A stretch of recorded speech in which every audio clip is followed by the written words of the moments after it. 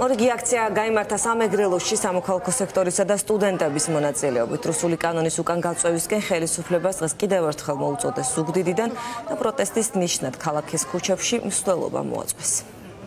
ჩვენი მიზანია საზოგადოებას უნდა მივაწვდინოთ ხმა და ყველამ უნდა მივახციოთ ერთხმად იმას რომ ხელისუფლებამ დაიხიოს უკან უარი თქვა საბოლოოდ რუსულ კანონზე და ჩვენ გარანტია მოგვეცეს იმისა რომ საქართველოს აუცილებლად გადადგამს ნაბიჯებს ევროკავშირისკენ. რა თქმა უნდა უერთდები არა რუსულ კანონს და უკვე არა რუსულ კანონს კი არა არა რუსულ რეჟიმს იმიტომ რომ ამ თავრობის ხელში წარმოუდგენელია ევროინტეგრაცია და ევროპაში საქართველოს შესვლა. ამ კანონის შედეგად სამართლიანი არჩევნები იძულებული გახდება მოექცეს იმ რეჟიმში, რასაც რაც დაკავშირებულია უცხო ქვეყნის ინტერესების გამტარად. ფაქტობრივად, მთელი წლები სამართლიანი არჩევნები მუშაობს არა თუ უცხო ინტერესების გამტარად, არამედ საკუთარი ქვეყნის და საკუთარი მოქალაქეების ინტერესების გამტარად.